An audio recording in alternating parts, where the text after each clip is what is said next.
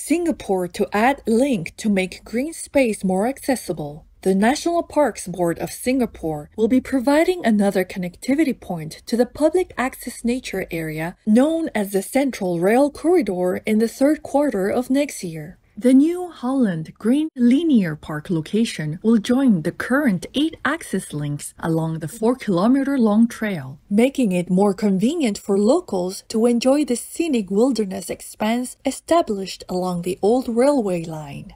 The announcement was made by the Minister for National Development and Minister in charge of Social Services Integration, His Excellency Desmond Lee, during a tree planting exercise at the rail corridor. This activity is part of the government and community efforts for forest restoration, biodiversity conservation, and ecological connectivity enhancement. A high salute, Singapore, for your endeavors to preserve nature for all to enjoy. May the wonders of Mother Earth be cherished in gratefulness to the Creator.